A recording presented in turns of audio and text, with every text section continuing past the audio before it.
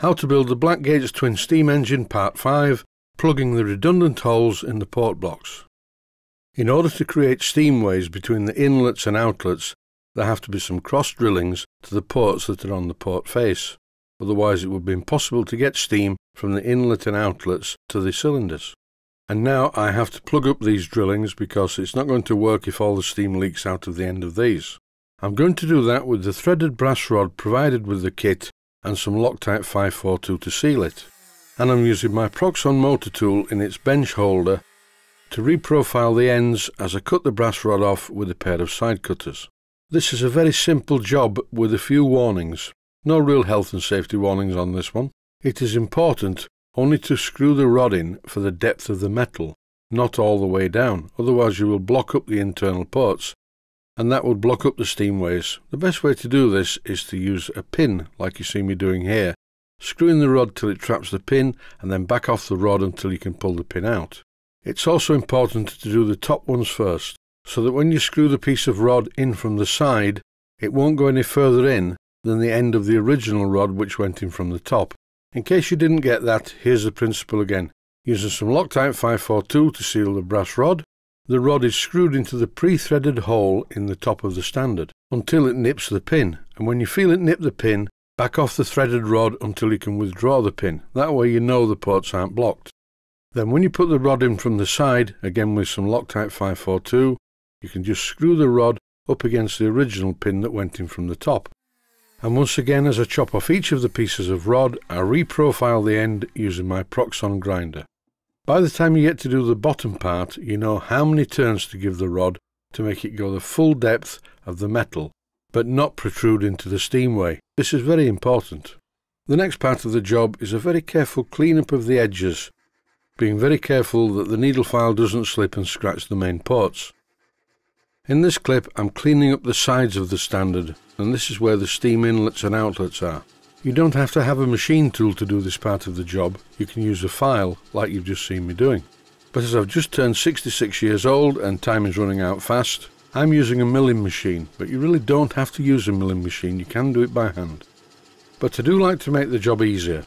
Obviously, health and safety rules do apply when using a milling machine, such as eye protection, and often a breathing mask is a good idea because these metal particles are quite small, and I don't think I'd want to breathe them in.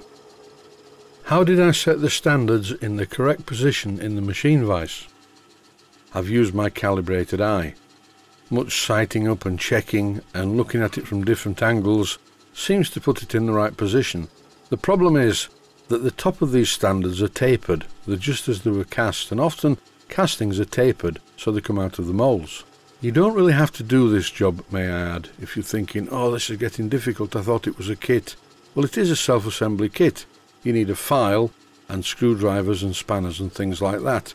The holes are professionally threaded and they're perfectly square, but I thought I'll just go the extra mile and clean up the edges this way.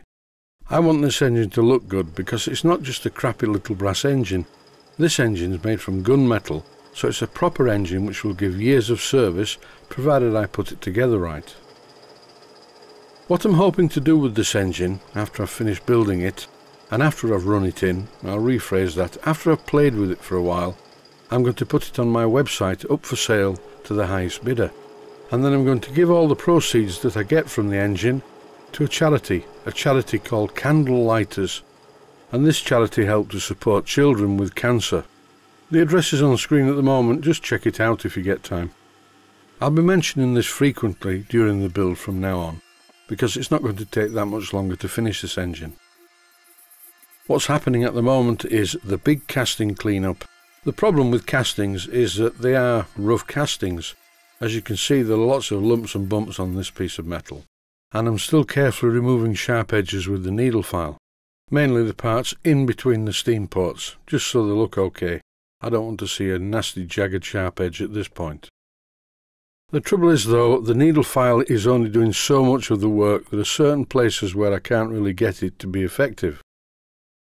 The needle file is okay for the edges, but it's when you go inboard it does get very difficult. So it's time to call in the cavalry in the way of my Proxxon motor tool with a diamond burr. And doing it this way is really good, much faster, much more efficient. and it's making a great job of tidying up the casting. You have to be very careful.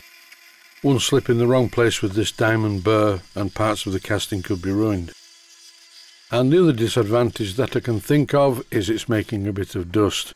So once again, apart from eye protection, a breathing mask is the order of the day. I'll speed up the footage so I get through the job a little bit quicker. I'd just like to take this opportunity to say I'm still having problems with people sending me links. On Patreon also. I got one the other day, and I know it was from a very well-meaning viewer. It was showing you how to flatten off the edge of a drill so it doesn't grab metals like brass or gunmetal. A while back I was going to make a video showing how to flatten the edge of drills or make them shallower so that they don't dig in, but then I thought, well, I don't want to be responsible for a load of beginners destroying their first set of drill bits. So once again, any links that are sent to me on YouTube or Patreon are automatically in the trash can. I'm sorry about that, but I can only really apply one rule. Links are not allowed, they can be dangerous. That's it for this video. Thanks for watching and I hope you found it useful.